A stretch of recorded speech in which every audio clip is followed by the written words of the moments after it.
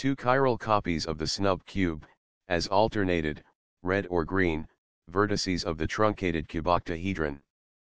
A snub cube can be constructed from a transformed rhombicuboctahedron by rotating the six blue square faces until the 12 white square become pairs of equilateral triangles.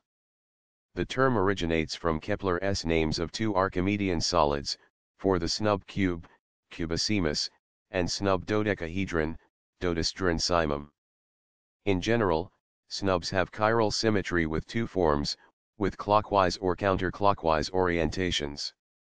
By Kepler's names, a snub can be seen as an expansion of a regular polyhedron, with the faces moved apart, and twists on their centers, adding new polygons centered on the original vertices, and pairs of triangles fitting between the original edges. The terminology was generalized by Coxeter, with a slightly different definition, for a wider set of uniform polytopes.